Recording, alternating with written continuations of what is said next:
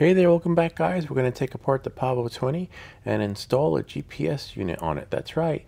Uh, we've done the other Pavo series, but a lot of you who have reached out to me directly and um, expressed interest and disappointment too on why I didn't install the GPS or do a video for the Pavo 20. Well, here it is. Actually, my original intention was to install the uh, LiDAR sensor, but apparently it didn't work. But it's the same process um, and I'll leave a link in the description below as to which wires go where, but it's really straightforward. Um, you should have no trouble doing it as long as you follow the directions and choose the colors that's right for you and corresponding to how you want to connect them to the flight controller and how you want to connect them to the GPS or, or any other attachments that might work with this. But so far only the GPS works. And as you can see, you want to disconnect the light and when you disconnect the light you just pop it right through the hole. Uh, there's a, I think this version of the drone you have to solder the light on. I think the newer one um, it comes already done. As you can see uh, I just need to put some flux on it and it just to, help with the soldering connection so that things just flow and that brush worked a little bit but I'm just using this little pointer tool which works really well.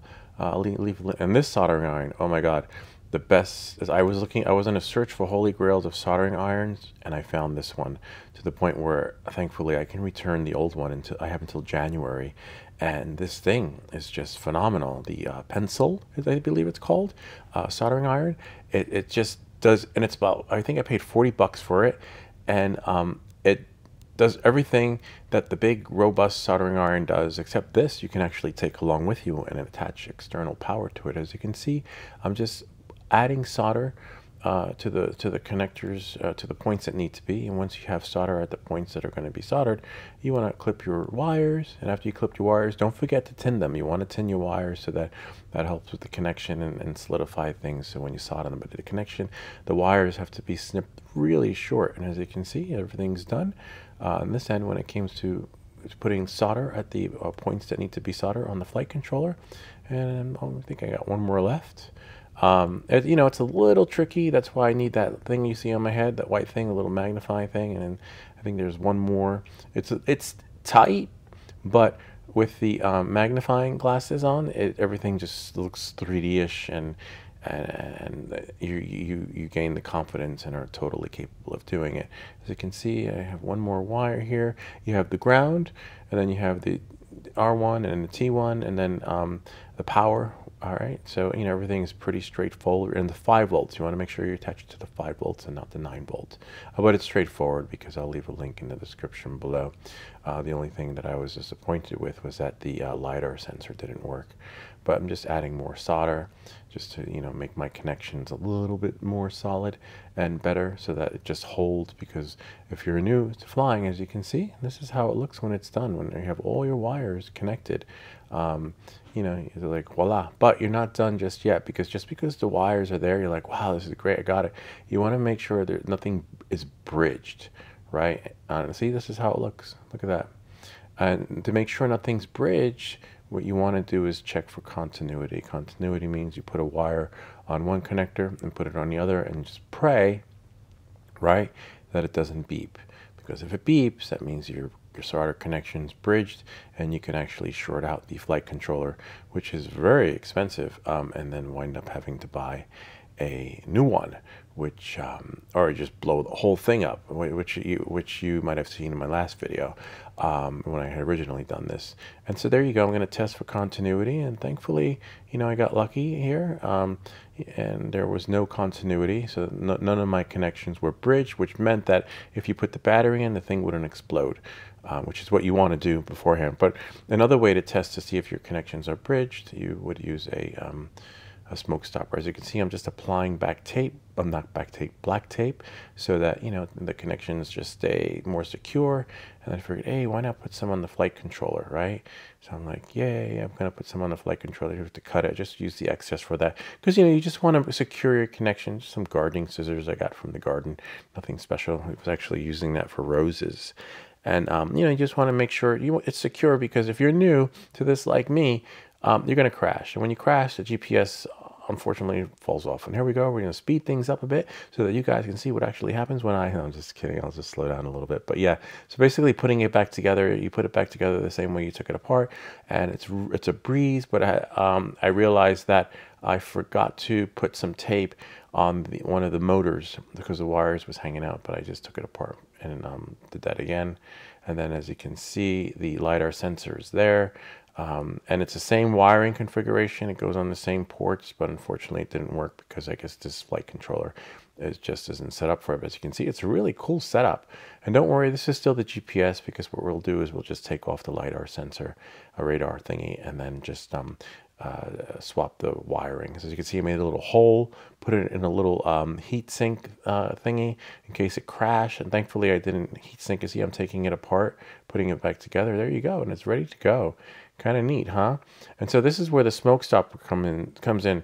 So even though you check for continuity to make sure that everything is good to go, right? But as you can see, the smoke stopper does the same thing, but what it does is it stops the power from going through so that nothing shorts out and most likely you would get a red signal. But in this case, everything worked out really well. Um, there was no short circuit and my solder connections were good. And I'll leave a link to this in the description. And as you can see, the LiDAR sensor didn't work. Um, and that, that was actually suggested by one of our viewers. They had asked, and I was like, hmm, that'd be kind of neat. And so, as you can see, you want to make sure, you know, the T1 goes to the T1 and the R1 goes to the R1 wherever it's supposed to cor correlate to on the, on the board. And I'll leave that in the description um, so that you guys can see and you don't have to pause the video and go back, but it'll be there. Um, but everything, you know, works. You'll see in the end. And then finally, to see that it works, when you want to make sure your GPS, remember we took off the LiDAR sensor, you, you launch uh, Betaflight, and then you go into expert mode, and then a new menu appears. And with your new menu, you'll see on the, uh, it says uh, GPS, right? So what you want to do is we're going to speed things up because what I did was I plugged it in and then um, let it uh, get the satellite connection before putting the battery in. You want to do that okay, or before connecting to the goggles. As you can see, the GPS is working. We've got our location, but now we want to connect it to the goggles so that we can see everything in the OSD, right? Um, so basically, I'm going to connect it to my computer using Reflector, and Reflector will let us see what's actually happening on the phone. Um, there's actually a DJI update. Um, I just got a push notification for that. So now um, Reflector, this is how Reflector launches. It never launched this way before, but it's fine. You just have to change the settings every time you, you load it. And by default, this is how it does. But I just want to see what's behind me. So what you got to do is rotate left or right, depending on which phone you have. And then, so in this case, I'm going to rotate right again. As you can see, the GPS is working, right?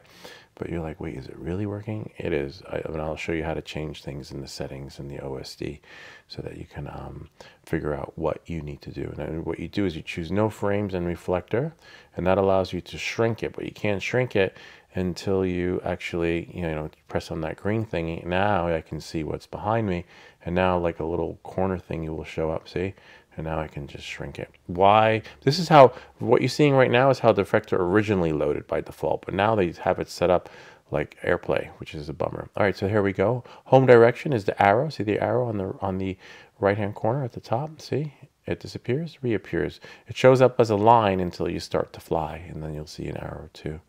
Um, then we have GPS, see that? Longitude, latitude.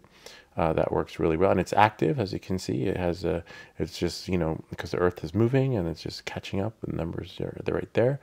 Um, and then you have, I don't know what that is, RSSI, DBN, I don't know. So just unselect that. I like to keep throttle position, as you can see. And um, what else is there? I'll just move this out a little bit.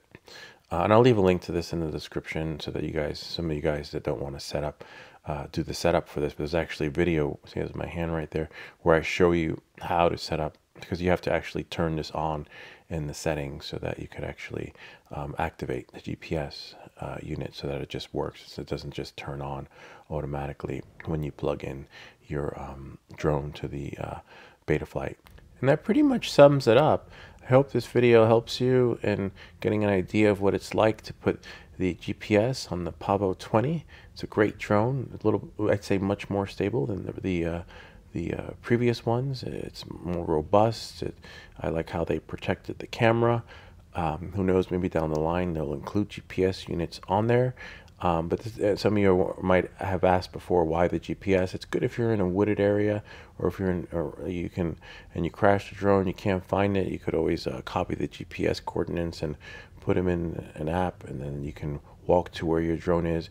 And sometimes it doesn't give the GPS coordinates. It'll tell you how many feet you are from it. So there was one particular time where I crashed and it said it was nine feet away, and I knew exactly where nine feet was from where I was standing, because the area I was standing was not was sort of in the woods in, in the back of the house. Um, so I, you know that helped me that way, or you know it, it'll help you level up when it comes to your skills, so that you too can um, uh, become better at building, fixing, repair, and making customizations to your drone um, or Cinewhoop or quadcopter or whatever you want to call it.